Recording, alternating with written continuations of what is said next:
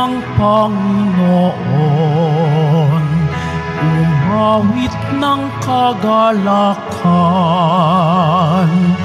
at tugtugin ang gitara at ang kaaya-ayang lira. Ipanin niyo ang trumpeta sa ating pagkabagabag. Sa Diyos tayo'y tumawag sa ating mga kaaway. Tayo ay kanyang ililigtas. Purihin ng Panginoon, umawit ng kagalakan, at tugtugin ng gitara at ang kaaya-ayang lira. Ipanin niyo ang trumpeta.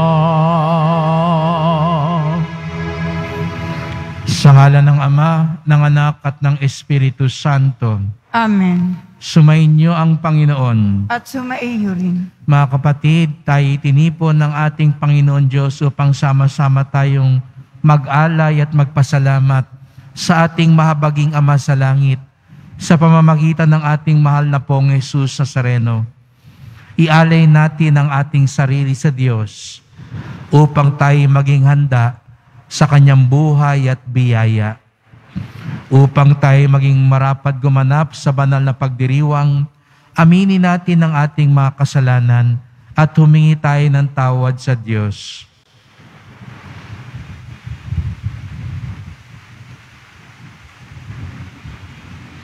Inaamin ko sa makapangyarihan Diyos At sa inyo, mga kapatid, nalubha akong nagkasala sa isip, sa salita at sa gawa, at sa aking pagkukulang. Kaya isinasamo ko sa mahal na Birheng Maria, sa lahat ng mga anghel at mga banal, at sa inyo mga kapatid, na ako'y panalangin sa Panginoong ating Diyos.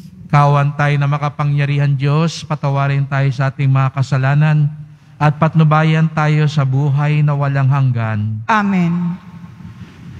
Panginoon, kaawaan mo kami. Panginoon, kaawaan mo kami. Kristo, kaawaan mo kami. Kristo, kaawaan mo kami. Panginoon, kaawaan mo kami. Panginoon, kaawaan mo kami. Manalangin tayo.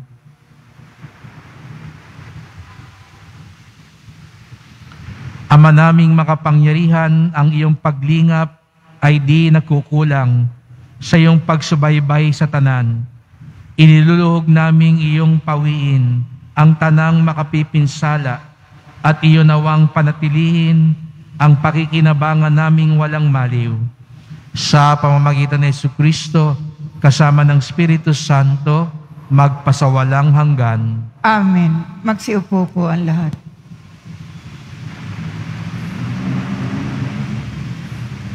Pagbasa mula sa aklat ni Tobit. Noong mga araw na iyon, tinawag ni Tobit ang kanyang anak si Tobias at sinabi, Anak, huwag mong kalilimutang bayaran ang kasama mo at dagdagan mo. Matapos ang kanilang pag-uusap, tinawag ni Tobias si Rafael at sinabi rito, Dalhin mo ang kalahati ng kayamanang dala natin at humayo kang payapa. Tinawag ni Rafael ang magamang Tobit at Tobias at sila ay nag-usap. Sinabi niya, Salamat sa Diyos. Siya ang purihin natin at dakilain. Ipahayag ninyo sa lahat ng tao ang kanyang ginawa sa inyo. Umawit kayo ng pagpupuri at pasasalamat. Ihayag nyo at parangalan ang kanyang mga gawa at huwag kayong manghihinawa sa paggawa nito. Ang mga bagay na inililihim ng hari, di dapat ibunyag. Ngunit ang mga gawa ng Diyos ay dapat ipahayag upang siya'y parangalan at purihin. Gawin ninyo ang mabuti at di kayo madadaig ng masama. Mas mainam ang manalangin at magbigay lugod sa Diyos sa pamamagitan ng pagtulong sa mahirap kaysa magpayaman at mandaya. Mabuti ang magkawang gawa kaysa makimpok ng ginto. Ang gumagawa nito ay naliligtas sa kamatayan at dinadalisay sa bawat kasalanan. Hahaba ang buhay niya, ngunit ang nagugumon sa pagkakasala ay kaaway ng sarili niya. Kailangan malaman na ninyo ang katotohanan. Wala akong ililihim sa inyo. Natatandaan ninyong sinabi ko na maaari magtago ng kanyang lihim ang hari. Ngunit ang mga gawa ng Diyos ay dapat ngang ipahayag. Ngayon ko sasabihin sa inyo na noong manalangin ka, Tobit, at ang manugang mong si Sarah sa Panginoon, ako ang nagharap ng dalangin ninyo sa Diyos. Gayon din ang ginagawa ko tuwing may inililibing ka.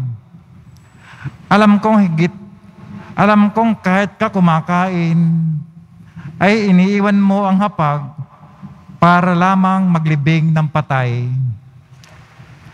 Bumaba ako rito para samahan ka. Ako rin ang sinugo ng Diyos para pagalingin ka at ang iyong manugang na si Sara. Ako si Rafael, isa sa pitong anghel na humaharap sa Diyos para maglingkod sa Kanya. Tumayo kayo at magpuri sa Diyos sapagkat ako'y aakit na sa Kanya. Ang lahat ng nangyari sa inyo ay inyong isulat.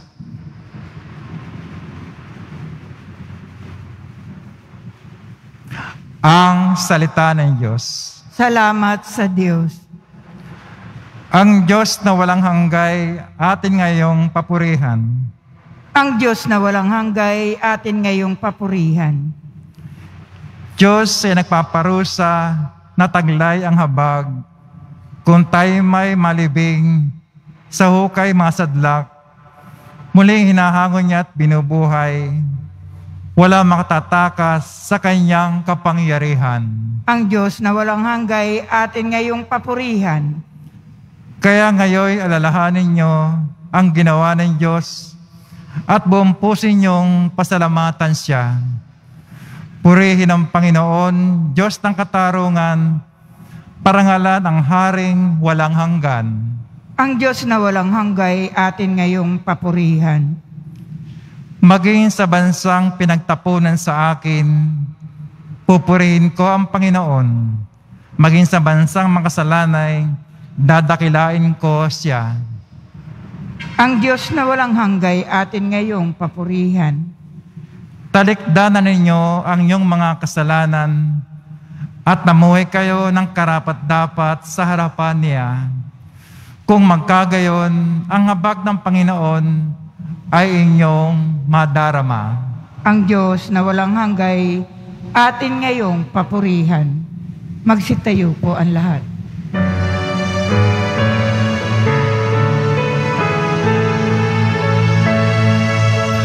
Ah, Hallelujah. Ah, Hallelujah. Ah, Hallelujah. Ah, Hallelujah.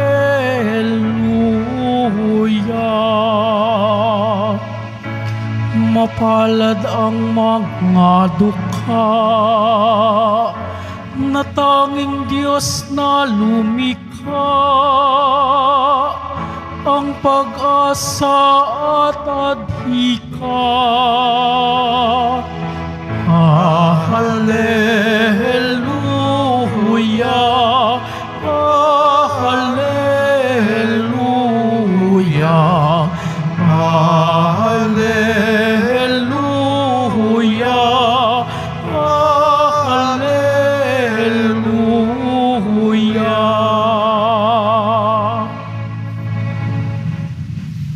Sumainyo ang Panginoon. at sumaiyo rin. Ang pagpapahayag ng mabuting balita ng Panginoon ayon kay San Marcos. Papuri sa iyo, Panginoon.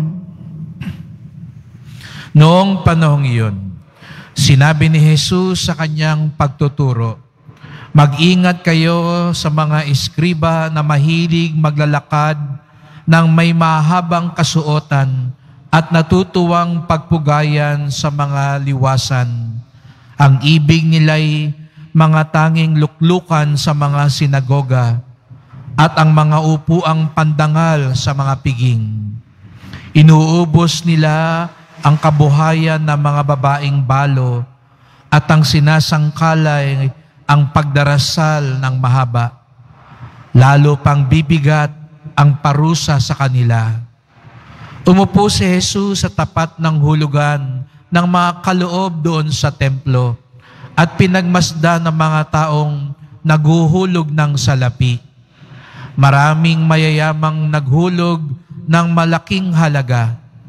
Lumapit naman ang isang babaeng balo at naghulog ng dalawang kusing nakatumbas ng isang pera.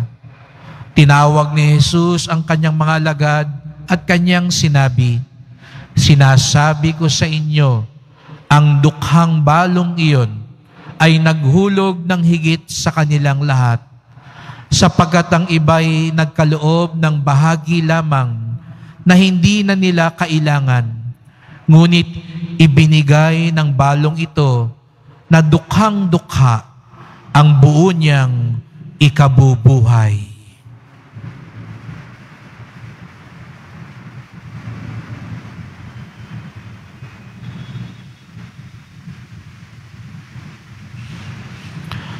Ang mabuting balita ng ating kaligtasan.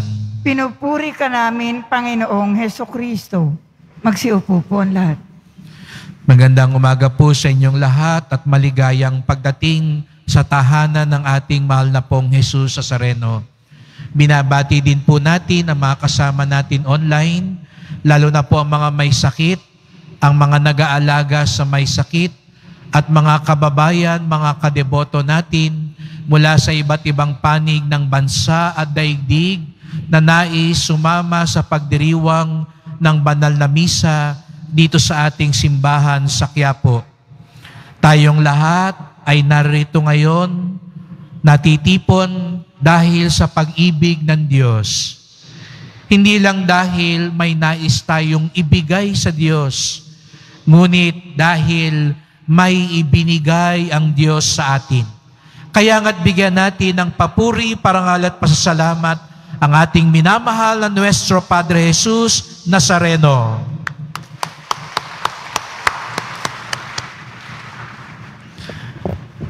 Ang buhay natin, ang kabuhayan natin ay nasusukat ayon sa ating tinatanggap o nakukuha.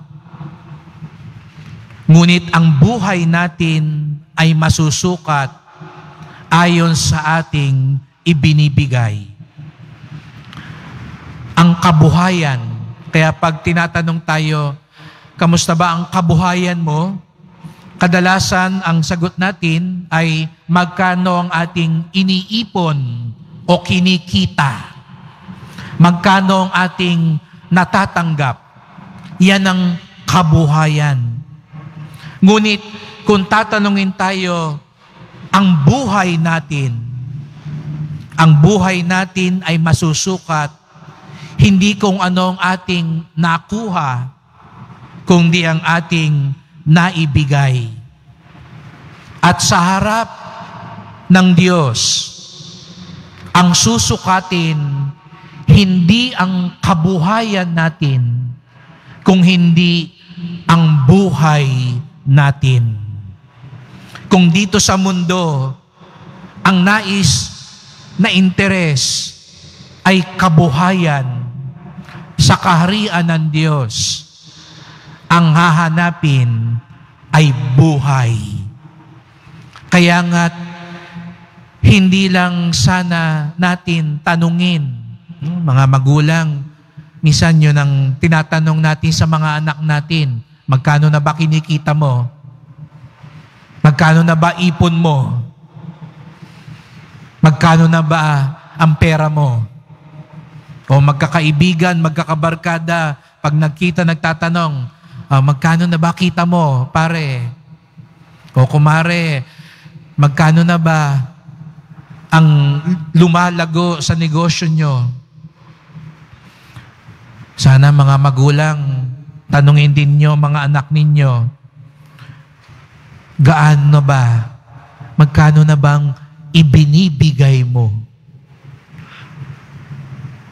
Napakaganda sa unang pagbasa na binibigyang pagtatapos ang kwento ni Tobit at ni Sarah. Kung kayo po ay nagsisimba araw-araw tuwing mula nung lunes, parang teleserye po yung narinig natin, yung buhay ni Tobit at ni Sarah na si Tobit, isang mabuting tao, nagkakawang gawa siya, lalo na yung mga patay daw na hindi naililibing. Ngunit, bagamat siya'y mabuting tao, nagkaroon ng pagsubok sa kanyang buhay. Nagkasakit siya, hanggang sa nabulag siya, naapektuhan ang kabuhayan niya, ang pamilya niya, nagkaroon din ng hidwaan, tampuhan silang mag-asawa, at yung anak niya, hinahanapan niya ng mapapangasawa. Mabuti siyang tao, pero dumaan siya sa matinding pagsubok.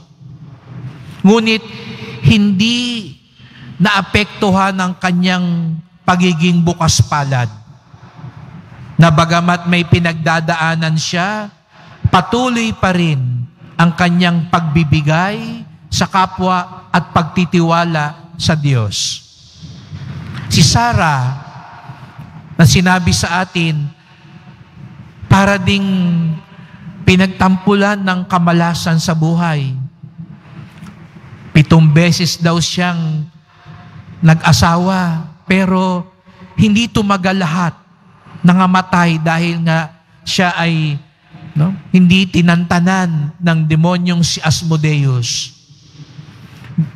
Natukso na rin siyang tapusin ang kanyang buhay. Ngunit dahil sa kanyang pananalangin, sa kanyang pagbibigay ng sarili sa Diyos, nagpatuloy siya sa buhay.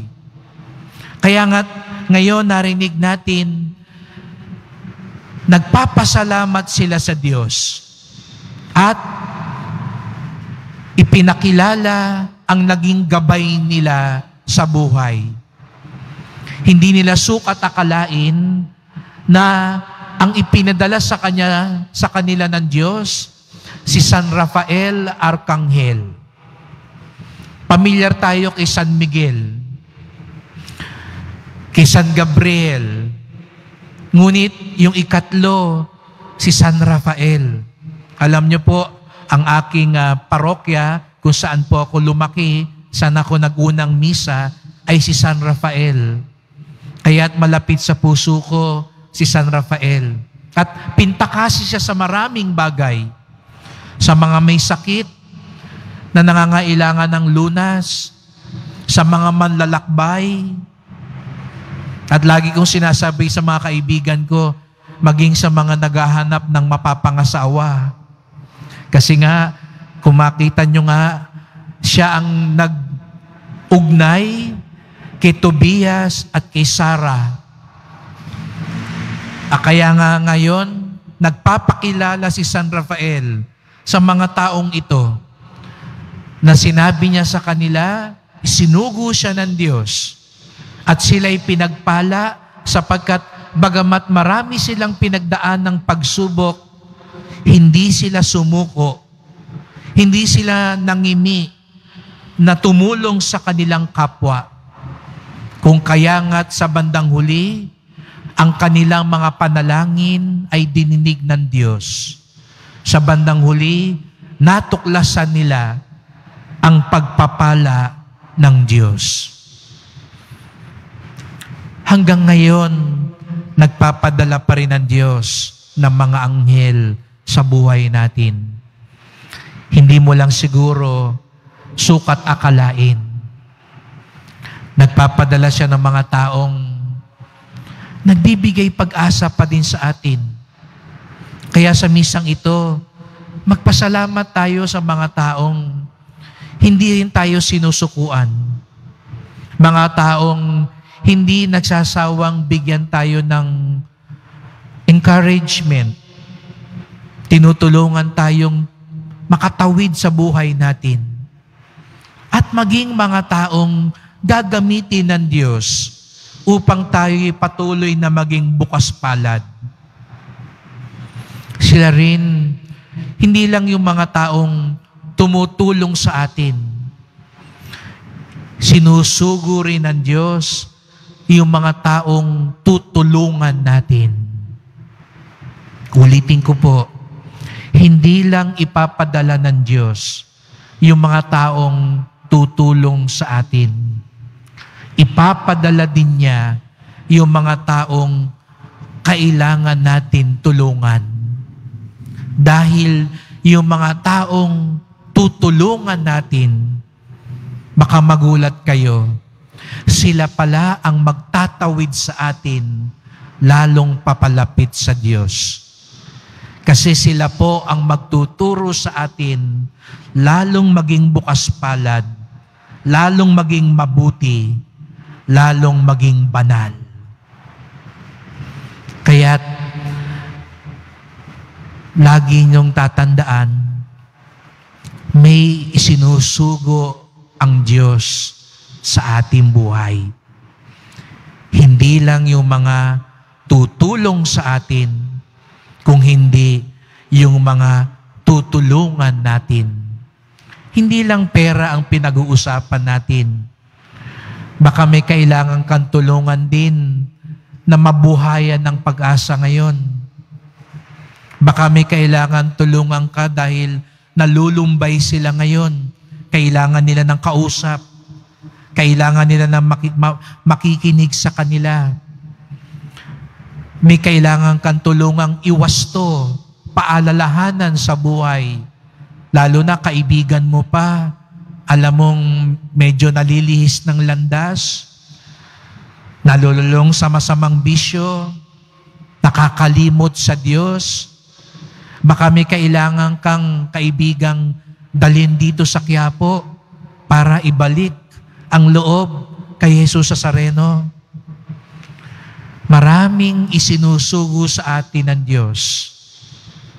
At baka magulat tayo, pagkakatok na tayo sa pintuan ng langit. Katulad ng nangyari kay Tobit at kay Sarah, na anghel ang nagpakilala sa kanila. Baka magulat tayo, sila na pala yung nandoon sa pintuan ng langit. At sila ang sasalubong sa atin. Sila ang bubulong sa Diyos. Sila po yung tumulong sa akin noon. Sila po yung nagbigay pag-asa at saya sa akin noon. Sapagkat isinusugo sa atin ng Diyos. Hindi lang ang tutulong sa atin, kung hindi ang mga tutulungan natin. At pagdating natin sa kaharian ng Diyos, hindi susukatin ang kabuhayan natin. Ang susukatin, ang titimbangin, ang buhay natin. At ang buhay natin nasusukat, hindi kung ano ang nakuha natin, kung hindi kung ano ang naibahagi natin. Kaya nga sa Ebanghelyo ngayon, pinuri ni Jesus Nazareno, hindi yung maraming ibinigay, kung hindi yung nagbigay ng tapat sa puso, nagbigay ng may pagmamahal, nagbigay ng may pagtitiwala. Kaya nga't itong biyayang ito ang hilingin natin kay Jesus sa Sareno. Hindi lang ang magbigay, kung hindi magbigay ng may pag-ibig at pagmamalasakit. Kaya't sa pagpapatuloy ng misang ito, magdasal po tayo. Mahal na pong Jesus Nazareno, salamat po at lagi nyo kaming sinasamahan sa paglalakbay sa buhay. Salamat po dahil sa naisin ninyong makapiling namin kayo sa inyong kaharian. Nagsusugo po kayo sa amin tuwi na. Sinusugo nyo po, pinapadala nyo po ang mga taong tumutulong sa amin. Pinapadala din po ninyo ang mga taong tutulungan namin. Maging bukas nawa ang aming mga mata at puso, at puso upang makilala namin ang mga sinusugo ninyo sa buhay namin. At mahal na pong Jesus sa Sareno, matulad nawa kami sa inyo. Kayo na nagbigay ng inyong sarili para sa aming kaligtasan. Kayo na nagbigay ng may lubos na pagmamahal. Upang sa takdang panahon, pag nagkita po tayo, mahal na pong Jesus Nazareno, matagpuan nyo nawa ang aming buhay ay katulad ninyo, puno ng pagbibigay, puno ng pagmamahal. At pag dumating ang araw na iyon, nawa, papasukin po ninyo ako sa inyong kaharian. Mahal na pong Jesus Nazareno. Amen. Sitayo po ang lahat.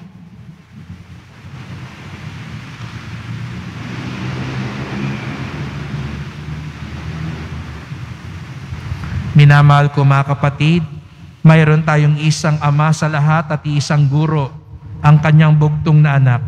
Dumulog tayo sa ating ama para sa lahat ng kanyang mga anak sa mundo.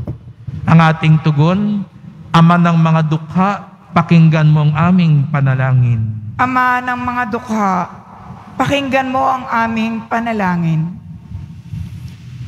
Ang mga tumanggap ng sakramento ng orden para sa banal na paglilingkod, naway maging tapat at totoo sa kanilang pagtatalaga ng sarili sa Diyos at sa simbahan, manalangin tayo. Ama ng Ama mga dukha, pakinggan mo ang aming panalangin. Ang mga naglilingkod sa bayan, naway maibigay ang mabuti at magaling na serbisyo sa tao at hindi unahin at paglingkuran ang kanilang sariling kapakanan, manalangin tayo. Ama ng mga dukha, pakinggan mo ang aming panalangin.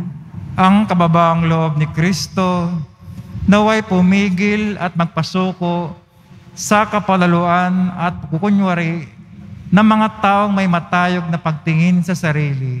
Manalangin tayo. Ama ng mga dukha, pakinggan mo ang aming panalangin. Tayo naway tumanggap ng banal na pagbubunyag bilang mensahe ng Diyos sa bisa ng kanyang kapangyarihan at hindi ayon sa kaisipan lamang ng tao, manalangin tayo. Ama ng mga dukha, pakinggan mo ang aming panalangin. Ang mga yumao, naway makatagpo ng kapayapaan sa muling nabuhay na tagapagligtas, manalangin tayo. Ama ng mga dukha, pakinggan mo ang aming panalangin. Tahimik nating idulog ang ipa nating kahilingan.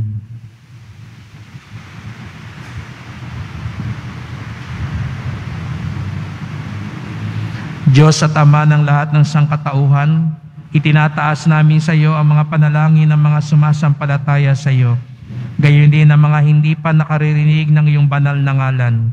Hiniling namin ito sa pamagitan ni Kristong aming Panginoon. Amen.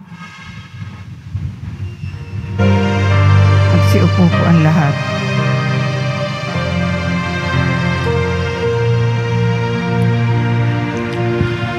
Handog namin sa iyo, Ama, ang tin tinapay at alak na ito Handog ng bayang umaasa Sumasamba't nagmamahal sa'yo. Handog namin sa iyo, Ama. Ang tinapay at alak na ito Handog ng bayang umaasa Sumasamba't nagmamahal sa'yo Magsitayo po ang lahat. Manalangin kayo mga kapatid upang ating paghahain ay kalugdan ng Diyos amang makapangyarihan. Tanggapin nawa ng Panginoon itong paghahain sa iyong mga kamay sa kapurihan niya at karangalan sa ating kapakinabangan at sa buong sambayanan niyang banal. Ama naming lumikha, sa iyong katapatan kami nagtitiwala. Ngayong ang mga alay ay aming inihanda at inihain dito sa banal mong dambana. Sa kagandahang loob mong sa amin dumadalisay, kami naway makaganap ng may malinis na kalooban. Sa pamamagitan ni Yesu Kristo, kasama ng Espiritu Santo, magpasawalang hanggan. Amen. Sumainyo ang Panginoon. At sumaiyo rin. Itaas sa Diyos ang inyong puso at diwa. Itinaas na namin sa Panginoon. Pasalamatan natin ang Panginoong ating Diyos. Marapat na siya ay pasalamatan. Ama naming makapangyarihan, tunay ngang marapat na ikaw ay aming pasalamatan sa iyong paglingap at kagandahang loob. Ang tao'y nilikha mo at pinangasiwa sa sansinukob. Sa hangad mong siya'y iwastong lubos, siya'y pinagdusa mo sa kanyang pagtalikod. Sa iyong paggiliw, iyong ipinahintulot na makabalik siya sa pamamagitan ni Kristo Jesus. Kaya kaisa ng mga anghel na nagsisiawit ng papuri sa iyo nang walang humpay sa kalangitan, kami nagbubunyi sa iyong kadakilaan. Santo, Santo, Santo, Panginoong Diyos ng mga hukbo, napupuno ang langit at lupa ng kadakilaan mo, usana sa kaitaasan, pinagpala ang naparirito sa ngalan ng Panginoon, usana sa kaitaasan, magsiluhod po ang lahat. Tuwing tayo nagsisimba, hindi lang tayo nagbibigay sa Diyos. Ang Diyos ang nagbibigay una sa lahat sa atin. Buksan natin ang ating puso sa Kanya. Ama naming banal, ikaw ang bukal ng tanang kabanalan. Kaya't sa pamamagitan ng iyong Espiritu gawing banal ang mga na ito upang para sa amin maging katawan at dugo ng aming Panginoong Yesu Kristo. Bago niya pinagtiis ang kusang loob na maging handog, hinawakan niya ang tinapay, pinasalamatan kanya, pinaghati-hati niya yon sa kanyang alagad at sinabi, Tanggapin ninyong lahat ito at kanin. Ito ang aking katawan na ihandog para sa inyo.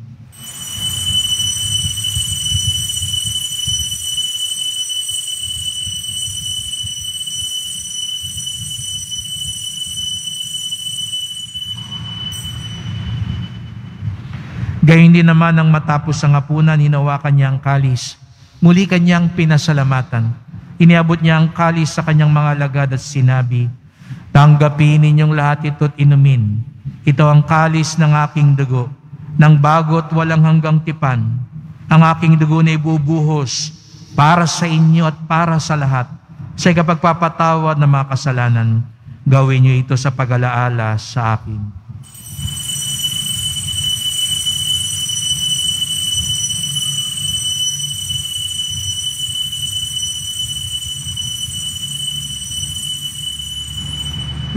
Magsitayo po ang lahat. Ipagbunyi natin ang misteryo ng pananampalataya. Si Kristo'y namatay, si Kristo'y nabuhay, si Kristo'y babalik sa wakas ng panahon. Ama, ginagawa namin ngayon ang pag-alaala sa pagkamatay at muling pagkabuhay na iyong anak. Kaya tinalay namin sa iyon, tinapay nagbibigay buhay at ang kalis na nagkakaloob ng kaligtasan. Kami nagpapasalamat dahil kami yung minarapan at tumayo sa harap mo para maglingkod sa iyo. Isinasamo namin kaming magsalo-salo sa katawan at dugo ni Kristo'y mabuklod sa pagkakaisa sa pamamagitan ng Espiritu Santo. Ama, lingapin mo ang iyong simbahang laganap sa buong daigdig. Puspusin mo kami sa pag-ibig kaysa ni Francisco na aming Papa, ni Jose na aming Obispo at ng Tanang Kaparian. Alalahanin mo rin ang mga kapatid naming nahimlay na may pag-asang sila'y muling mabubuhay, gayon din ang lahat ng mga pumanaw. Kaawaan mo sila at patuloyin sa iyong kaliwanagan. Kaawaan mo at pagindapating kaming lahat na makasalo sa iyong buhay na walang wakas. Kaysa na mahal na Biring Maria, Ina ng Diyos, nagkabak niyang pusong si San Jose, ni San Juan Bautista at lahat ng mga banal na namuhay dito sa daigdig ng kalugod-lugod sa iyo. May pagdiwang nawa namin ng pagpupuri sa ikararangal mo sa pamamagitan ng iyong anak na aming Panginoong Heso Kristo. Sa pamamagitan ni Kristo, kasama niya at sa Kanya, ang lahat ng parangal at papuri ay sa iyo, Diyos amang makapangyarihan, kasama ng Espiritu Santo, magpasawalang hanggan. Amen. Bilang isang pamilya, sama-sama tayong tumawag sa ating Ama sa langit. Ama namin, sumasalangit ka. Sambahin ang ngalan mo. Mapasa amin ang kaharian mo. Sundin ang loob mo dito sa lupa para ng sa langit. Bigyan mo kami ngayon ng aming kakanin sa araw-araw at patawarin mo kami sa aming mga sala para ng pagpapatawad namin sa nagkakasala sa amin. At huwag mo kaming ipahintulot sa tukso at iadya mo kami sa lahat ng masama.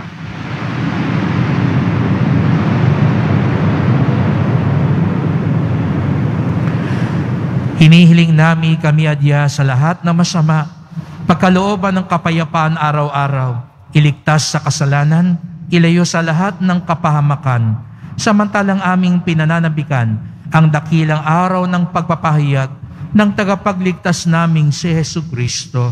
Sapagkat iyo ang kaharian at ang kapangyarihan at ang kapurihan, magpakailanman. Amen. O Panginoong Kristo, sinabi mo sa iyong mga apostol, at ngayon sinasabi mo sa amin lahat dito, kapayapaan ang iniiwan ko sa inyo, ang aking kapayapaan ay binibigay ko sa inyo. Tungayan niyo po ang aming pananampalataya, huwag po ang aming mga kasalanan. Patawad po kung kami naging maramot, kung kami tumatangging magmahal at magpatawad. Linisin niyo po kami, Panginoon. Pagkalooban niyo po kami ng kapayapaan at pagkakaisa ayon sa iyong kalooban, kasama ng Espiritu Santo, magpasawalang hanggan. Amen. Ang kapayapaan ng Panginoon ay laging sumainyo. At sumaiyo rin. Magbigayan tayo ngayon ng kapayapaan ni Kristo sa isa't isa.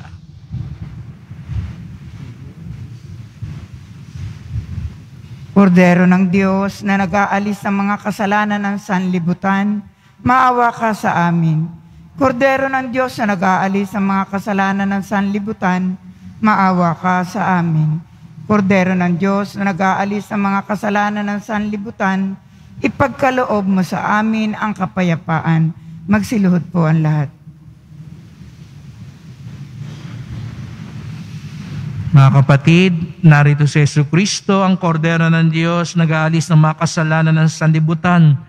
Mapapalad ang inaanyayahan sa kanyang piging. Panginoon, hindi ako karapat dapat magpatuloy sa iyo, ngunit sa isang salita mo lamang ay gagaling na ako.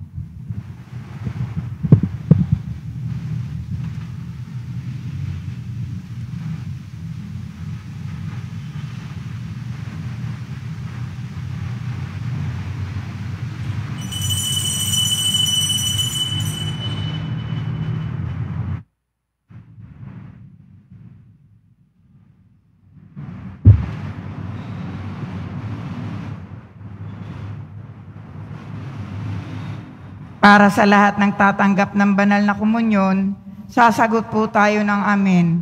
Pagkasabi ng pario ng lay minister ng katawan ni Kristo at isubo agad sa bibig bago umalis sa harapan ng pario ng lay minister. Sumunod po tayo. Maraming salamat po.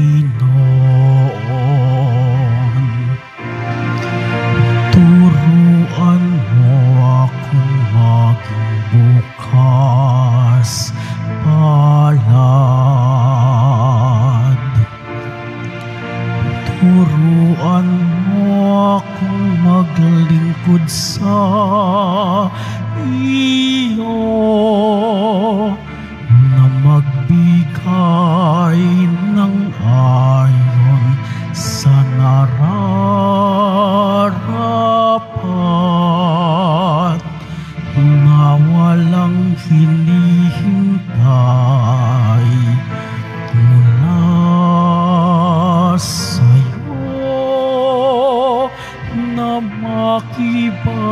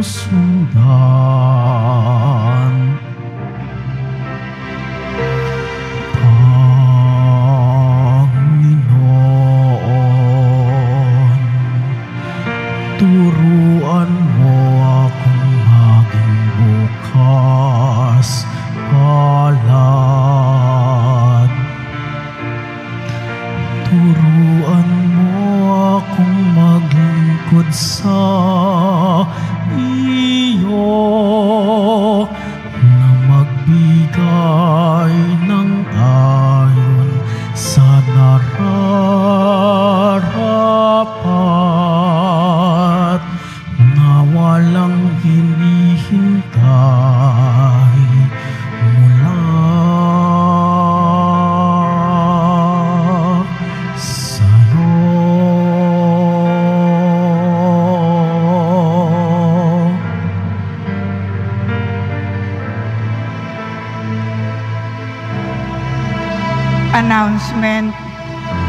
darating na June 17, Sabado, magkakaroon po tayo ng binyagang bayan, handog sa kapistahan ng kapanganakan ni Juan Bautista. Kailangan ay ang edad na 0 to 7 years old. Sa mga nagnanai, nagnanais, maaari kayong makipag-ugnayan sa records office ng parokya na matatagpuan sa ground floor Cardinal Sin Building mula ikawalo ng umaga hanggang ikalima ng hapon. Maaring hanapin sina Miss Shirley at Miss Jocelyn record staff ng parokya para sa mga detalye. Sa darating na June 11, linggo, ay ipagdiriwang po natin ang dakilang kapistahan ng kabanal-banalang katawan at dugo ng Panginoon o Corpus Christi. Kaugnay nito, magkakaroon po tayo ng prosesyon ng kabanal-banalang sakramento, Eucharistic Procession. Pagkatapos ng ikatatlo ng hapon ng misa, ang lahat po ay inaanyayahan lalo tigit ang mga kapatid nating na sa Extraordinary Ministry of Holy Communion, mga ministry, organization, at samahan ng ating simbahan na magbigay galang sa tunay na presensya ng Diyos sa banal na Eucharistia. Magdalo po tayo ng kandila. Patuloy pong pinaaalalahanan ang lahat na huwag maging kampante sa banta ng COVID-19. Bagkus, dapat nating ipagpatuloy ang tamang pagsunod sa minimum public health standards, ang pagsusuot ng tamang face mask. Pagkatapos ng misa, wiwisikan po ang lahat ng banal na tubig. Pinakikiusapan ang lahat na manatili lamang muna sa inyong mga lugar. Tanging sa Quezon Boulevard o sa Plaza San Juan lamang ang labasan ng lahat. Sumunod po tayo. Maraming salamat po sa inyong pagdalaw at pagsisimba sa Basilica Minor ng Itim na Nazareno. Magsitayo po ang lahat. Manalangin tayo.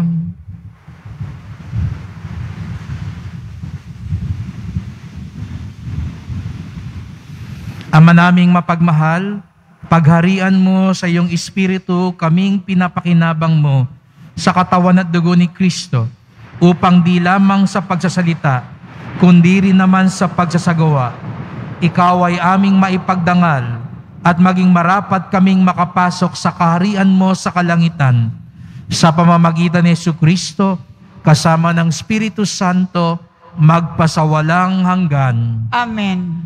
Maraming salamat po sa inyong pagpunta dito sa Quiapo. Maraming salamat po sa tulong ninyo sa simbahan.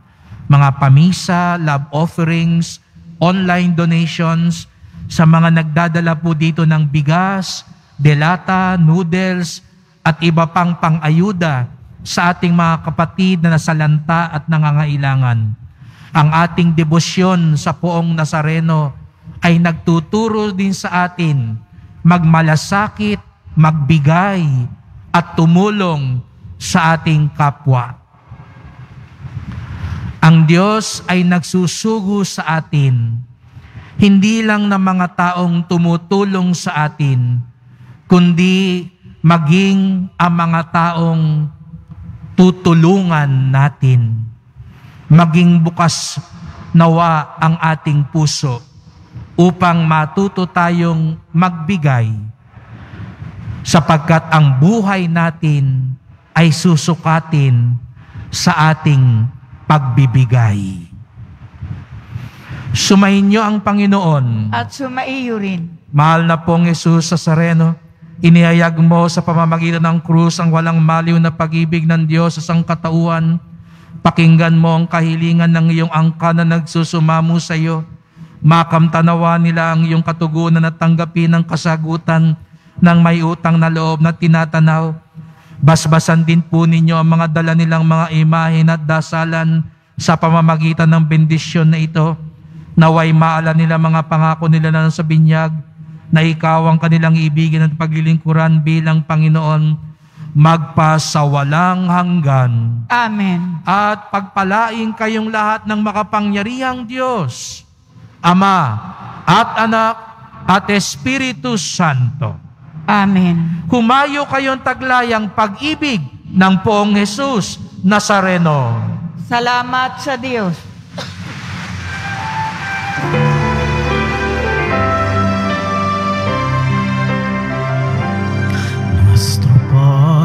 Jesús Nazareno, sinasamba ka namin.